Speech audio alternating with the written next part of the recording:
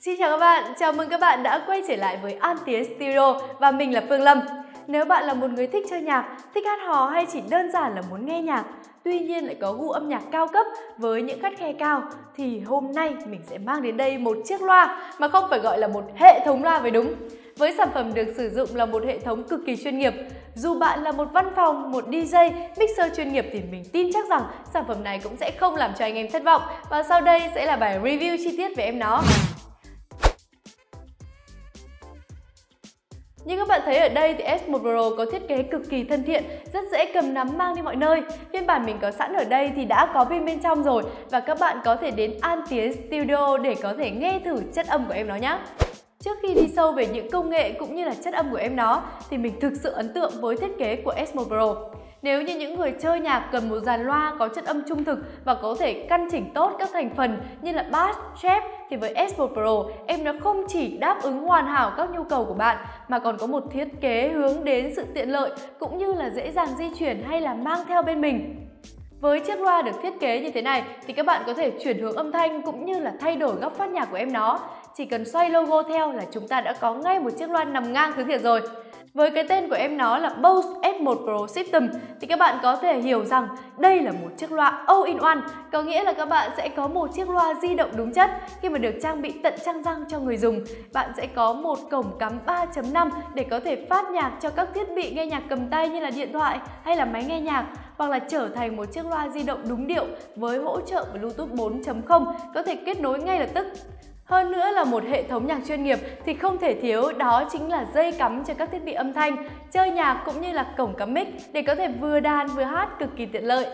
Thêm vào đó là được tích hợp bộ trộn âm 3 kênh, cung cấp bộ xử lý trơn mark, hiệu ứng vang âm và điều khiển EQ độc lập trên hai kênh với một kênh riêng cho nguồn nhạc có dây và không dây. Với ba loa Twitter được bố trí nằm dọc, ngay sau đó là một driver woofer khá lớn tổng thể thì dàn loa sử dụng một bộ nguồn với công suất 150W và các bạn có thể sử dụng nguồn cắm dây hoặc pin. Nếu bạn sử dụng pin thì các bạn có thể sử dụng tối đa khoảng 4 giờ đồng hồ. Với cân nặng của chiếc loa này thì sẽ khoảng 6,5 kg và thêm 0,5 kg nếu được trang bị pin. Tuy có vẻ là khá nặng nhưng mà S1 Pro lại có cảm giác cầm nắm thoải mái và hơn nữa là do tính di động cũng như là tiện lợi của mình mà các bạn à, có thể là đưa lên nhiều địa hình cũng như là nhiều cách khác nhau để có thể tận dụng âm thanh tối đa được phát ra từ S1 Pro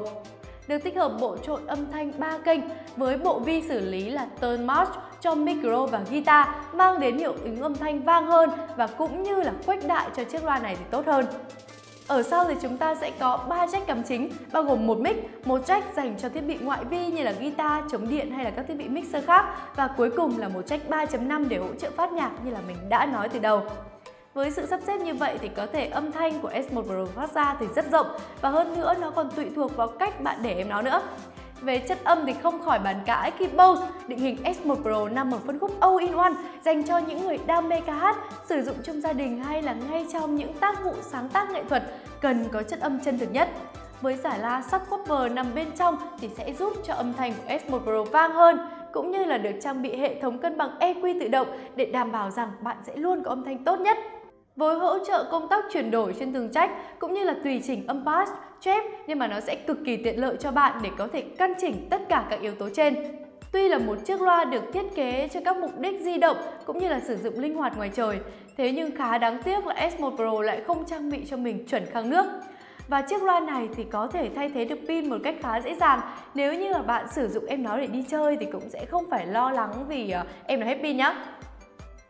Khi sử dụng em nó một thời gian thì mình thấy rõ được lợi ích của việc trang bị nhiều cổng kết nối cũng như là có thể điều chỉnh được các thuộc tính để trải nghiệm một bài hát tốt hơn. Đối với mình, một người nghe nhạc bình thường mà nói, thể loại ưa thích là EDM và trong quá trình nghe thì mình tăng mức bass lên cao và thực sự là con chip tích hợp tone mod xử lý rất tốt khi mà giải âm cho ra thì mịn màng và không hề bị vỡ, tiếng âm bass thì vẫn rất mạnh mẽ.